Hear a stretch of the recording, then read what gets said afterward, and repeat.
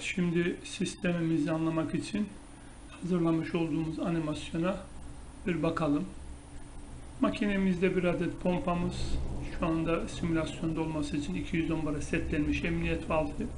Ayrıca bizim limit switch'ine basıncı düşüren regülatörümüz e, su olmayınca darbe levi kolunun limitini nötr konum alan valfimiz. Ayrıca simülasyon için yerleştirmiş olduğumuz fit levi kol olarak bunu düşünelim. Şimdi makine çalıştığı zaman arkadaşlar bakın 210 bar basınç burada oluşacak. Aynı zamanda wafer üzerinde oluşacak. Regülatörümüz limit switch'e giden basıncı 40 bara düşürecek. 40 bar arkadaşlar makinede su bağlı değilken bakın şuradan gelen basınç normalde darbe levye kolunun çalışmasını engelleyecek. Çünkü su makinede yoktur. Delgi yapılması istenilmez. Ee, şimdi biz makineyi suyu bağladığımız zaman şimdi şu animasyonumuzu başlatalım. Bakın arkadaşlar makineye suyu bağladığımız zaman buradaki valfimizin enerjilenmesi lazım. Buradaki valfimiz bakın enerjilendiği zaman artık 40 bar basıncımız bu valf üzerinde burada kalır. Burada da kaldı. Şimdi levye kollarımız pilot basınç uyarısı yok. Çalışacak durumda. Şimdi buradaki valfimiz yani limit switch valfi aktif olduğu anda arkadaşlar bakın buradaki basınç bu valf üzerinden gelecek. Öncelikle darbe levye kolunu nötr konum atacak. Ardından bakın dikkat edin bu valf üzerinden şuradaki orifis, burada iki tane orifis yerleştirilmiş. Bunların özelliği arkadaşlar. Birincisi, birinci önceliği darbeye, ikinciyi fide vermek içindir. Buradaki basınç darbe levye kolunu nötra attığı anda arkadaşlar orifis üzerinden gelen ya aynı zamanda fid levye kolunu geri attırır. Limit switch'i tekrardan bu konuma geldiği zaman arkadaşlar kolların sıkışık bir şekilde kalmaması için buradaki basıncın orifisler üzerinden bakın depoya boşalması gerekiyor. Şimdi sistemi bir çalıştıralım. Bakın arkadaşlar suyu kestim. Bakın su olmayınca 40 barlık basınç darbe levye kolunu çalışmaz hale getirdi. Suyu bağladım. Tekrardan nötr konuma geldi. Şimdi tabancayı devreye sokalım. Limit switch devreye vurdu. Bakın iki levye kolu geri attı. Limitten kurtardı. Basınç boşaldı devrede. Devrede devre dışı. Devrede devre dışı. Su yok. Darbe yok. Su var. Darbe var. Su yok. Darbe yok. Su var. Darbe var. Limit delgi bitti. Önce darbe sonra fidi geri attır. Önce darbe sonra fid. Bakın arkadaşlar sistem bu şekilde çalışır. Burada arkadaşlar önemli olan limit switch valfine gelen regülatör valfinin 40 bara setli olması. Burada arkadaşlar bazı makinelerde 25 bar yazar, bazılarında 40 bar. Eski makinelerde 25 bar olarak yazar. Siz 40 bara setleyin. Çünkü 40 bar e, diğer pilot valfli çalışan valfler için ayarlanmıştır. Buradaki limit switch'inde. Bakın arkadaşlar devrede, devrede değil. Şimdi burada basit bir anlatımla ben bunu anlattım. Şimdi hep beraber olması gereken kataloglar üzerine bu sistemi tekrardan anlamaya çalışalım. Arkadaşlar e, bu limit switch ile ilgili e, iki model makinenin devre şemasını inceleyeceğiz. Bunların bir tanesi bu makinelerde çok eski model olan e, bakın şuraya yerleştirilmiş olan orifislerle ilgili. Bir de bunların daha sonra güncellenmiş olan daha yeni model olanlarıyla e, ilgileneceğiz ve onlara bakacağız. Şimdi en eski model olanlara şöyle bir bakalım. Bakın limit switch valfimiz e, opsiyon yerleştirilmiş su kontrol valfi. Bu bazı makinelerde olmayabilir. Darbe levye kolumuz ve baskı valfimiz. Şimdi devre şemamızı şöyle biraz yakınlaştıralım. Biraz önce animasyonda bakmıştık arkadaşlar. Bizim limit valfimize regülatör valf üzerinde 40 bara setlenmiş bir basıncımız var. 40 bara setlenmiş basınç limit switch valfine gelir. Bakın burada hazırda bekler. Ayrıca 40 barlık bu basınç makinede eğer su akış yok ise yani tapanca delgi pozisyonuna başlayıp kafadan su çıkmıyorsa bakın o zaman buradaki selenoide enerji gelmez. Buna enerji gelmediği zaman bu valfın pozisyonu arkadaşlar bu şekildedir. Haliyle 40 bar basıncımız bakın şuradan gelir. Nereye gider? Direkt darbe levye kolunun arka kısmına pilot uyar olarak gider. Darbe levye kolunun nötr konumda kalmasını sağlar. Bu arkadaşlar wafter'a dikkat edin. Darbe levye kolunun birinci konumu bakın nötr pozisyonunda yani kolun geri konumda olması lazım. Baskı levye kolu ise orta konumu. Boş, nötr diğer konumları ileri ve geri. Şimdi levye kolunun devreye alınabilmesi için akışın olması lazım. Operatör kafaya suyu verdiği anda bakın arkadaşlar bir flow sensör var bu valfı takip eden. Buradaki valfimiz enerjilenir ve bu valfın konumu değişir. Şimdi bu valfin e, değişen konumuna bir bakalım. Bakın şöyle renklerinin anlaşılması için. Bakın 40 bar artık burada kaldı. Şöyle yaklaştırıyorum. Şimdi 40 bar basıncımız burada kaldı. E, buradaki basınç nereye gitti diye sorarsanız bakın şunun üzerinden şöyle geliyorum. Bakın şuradan şöyle geldim. Bakın geldim şurada bir adet orifistimiz var. Devam ediyorum. Bakın buradan diğer bir orifisten şurası bizim depo hattıdır. Buradan depoya boşaldığından darbe levye kolu arkasındaki basınç arkadaşlar ortadan kalktığı için darbe delgiye makine devam edebilir. Peki nereye kadar?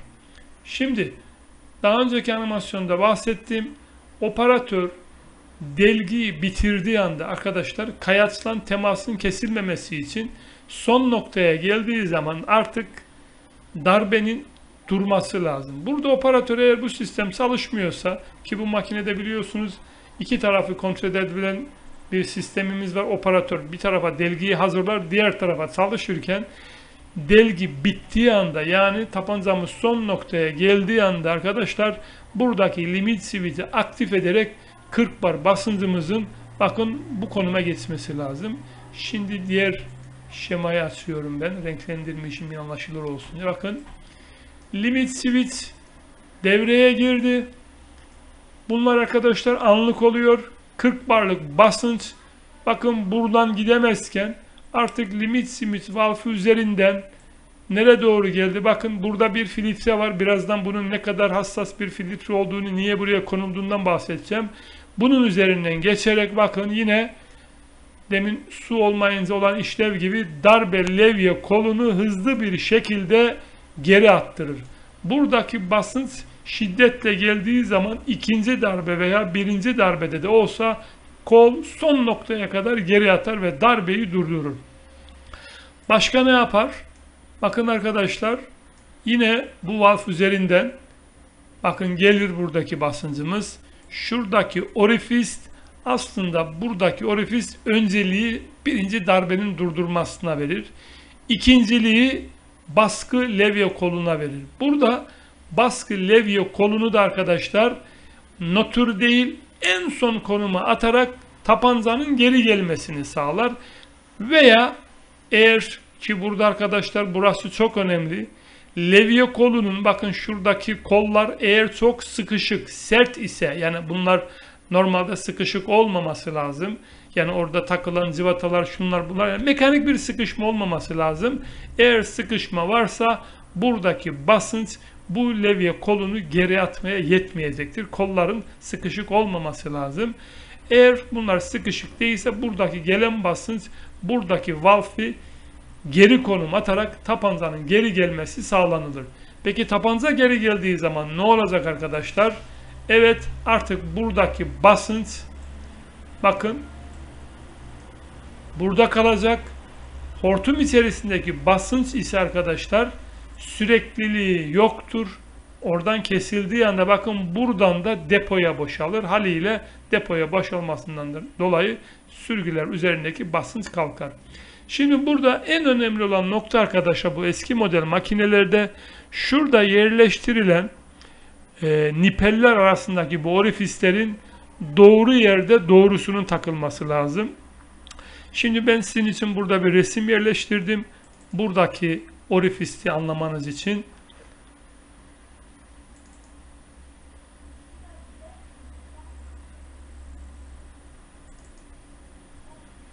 neden çalışmadı? Şimdi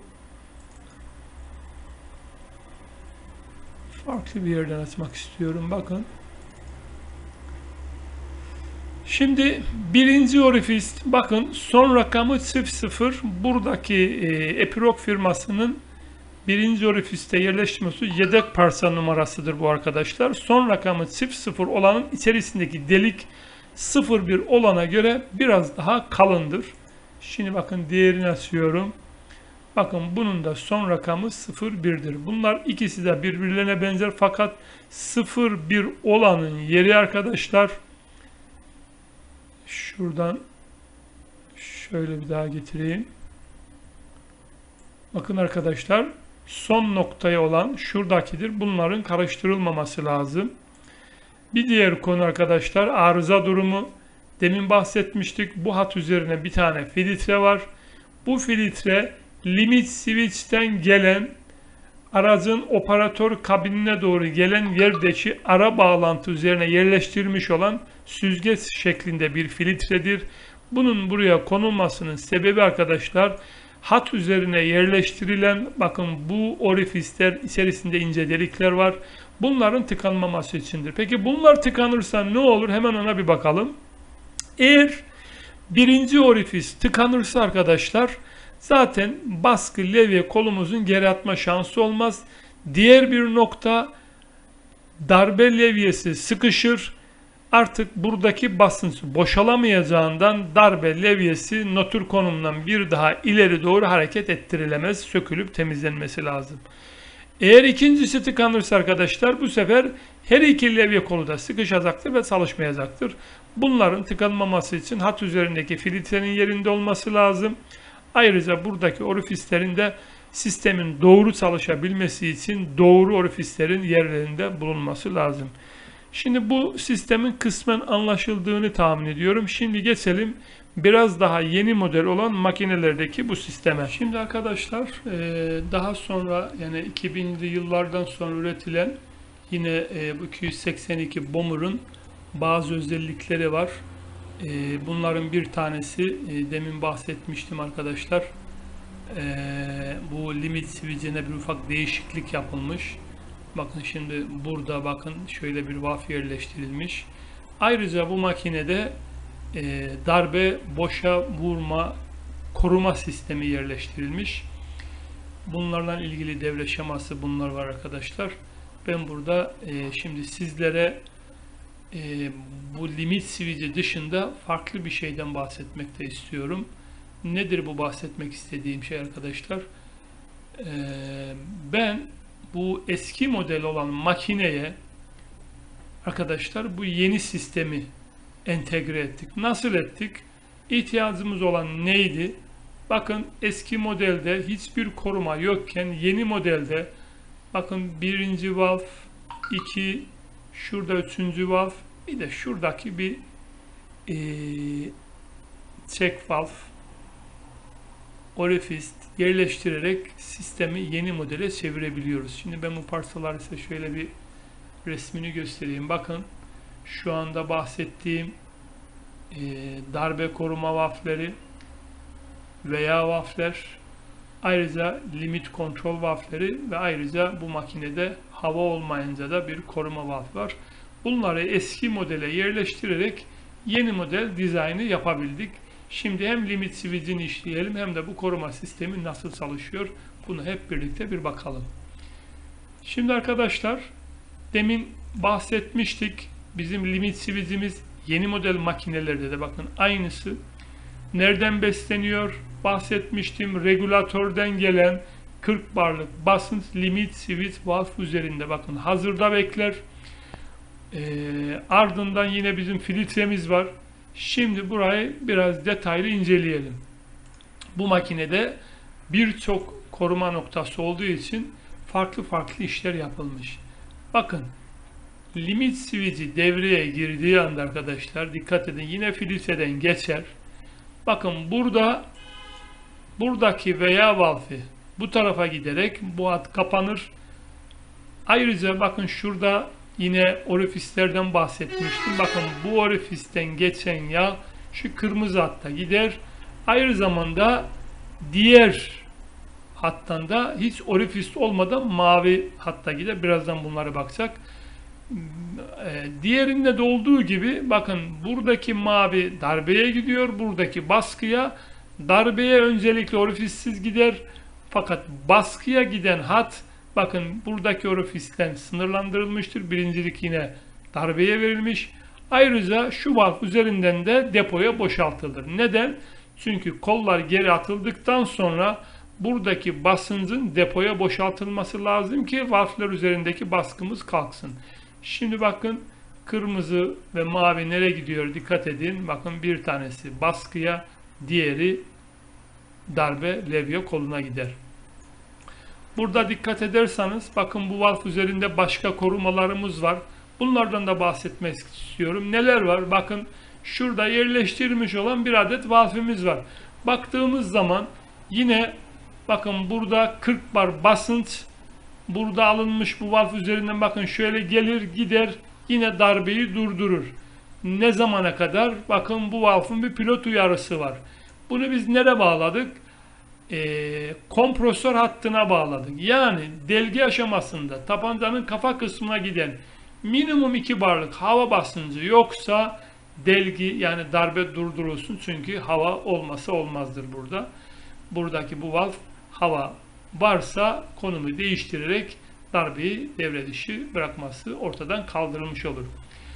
Başka bir korumalar var arkadaşlar. Bunlar e, farklı bir eğitimde bunlardan bahsedeceğim.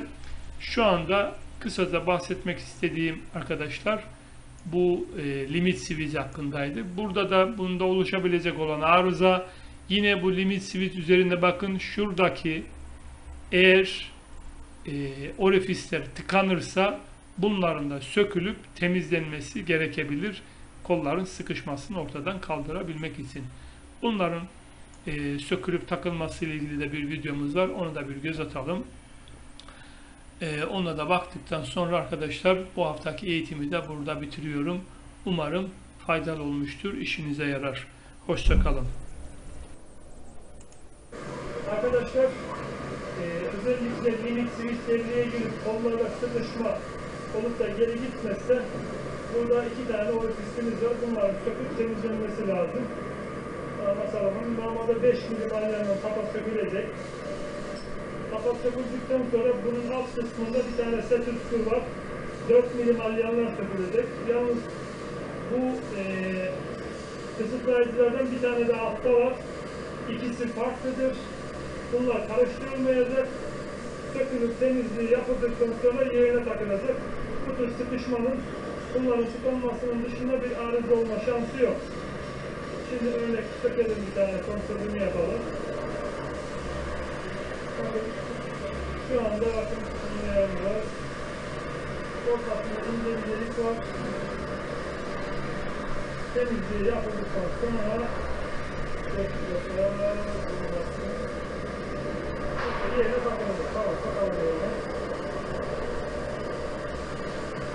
Bunun aynısından Bak